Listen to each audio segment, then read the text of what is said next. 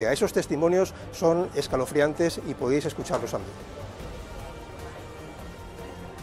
We are here exposed to a genocide in the besieged city of Aleppo. This may be my last video. More than 50,000 of civilians who rebelled against the dictator al-Assad are threatened with field executions or dying under bombing. Save Aleppo, save humanity. Really, I, I, have, I hope you can do something for Aleppo people, for my daughter, for the other children. We didn't want anything else but freedom. Llamamientos desesperados para que alguien haga algo. Estas son las imágenes de la destrucción. Hear me. We are here exposed to a genocide in the besieged city of Aleppo. This may be my last video. To everyone who can hear me, we are here exposed to a genocide in the city of Aleppo.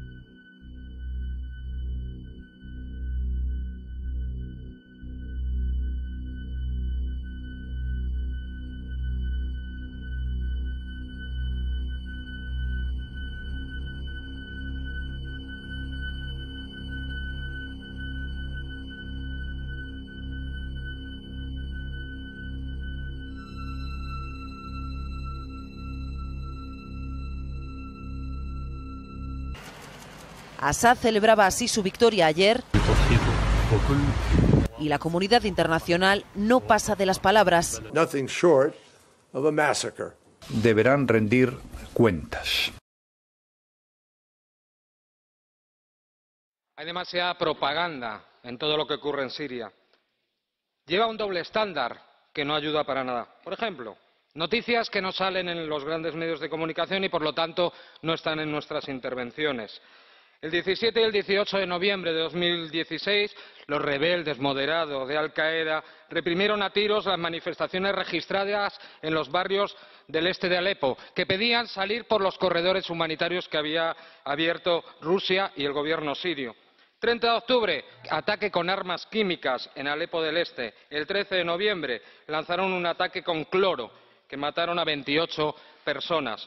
Podríamos hablar también de la respuesta que dio el portavoz del Departamento de Estado de Estados Unidos, John Kirby, a una periodista acusando a Rusia de determinados eh, ataques contra hospitales. Cuando nos vamos a la fuente, es una ONG turca y esa ONG dice que no acusa a Rusia de bombardear a los hospitales de Alepo ni la OMS a la que pertenece, ni siquiera la Oficina Regional del Comité Internacional de la Cruz Roja en Damasco, que dice que confirma los ataques pero no puede saber quién los hizo. Por lo tanto, dejemos ese maniqueísmo. Hemos exigido a todas las partes que cumplan el derecho internacional, pero solo juntos podemos llegar a la paz.